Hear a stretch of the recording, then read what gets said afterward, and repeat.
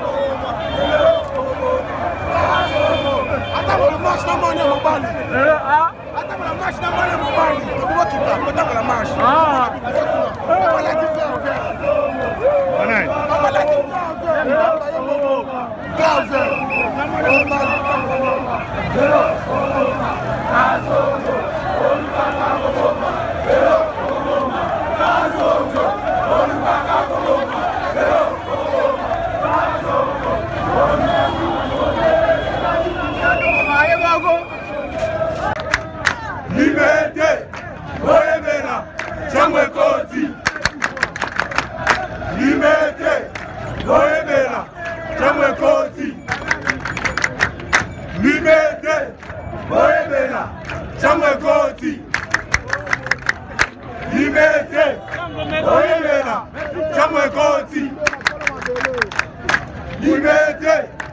oyebela ntango ekoti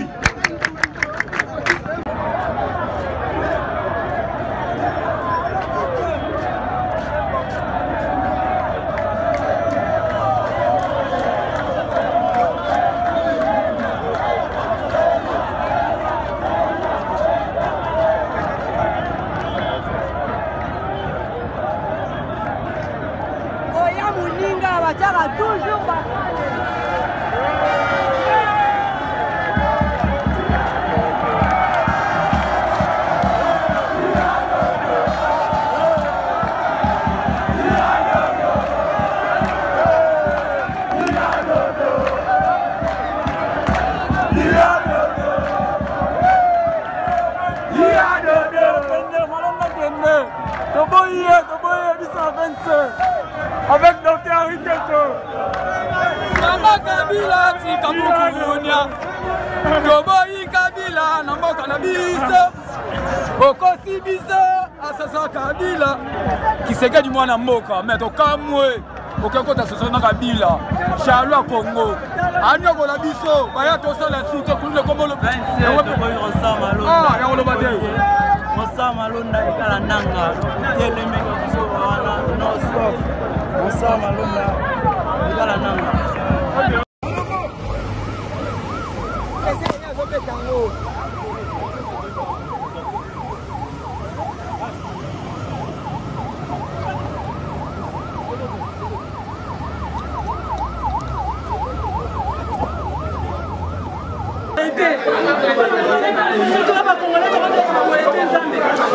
konyongwa mateli ya mamboka soki tokokufa tokufi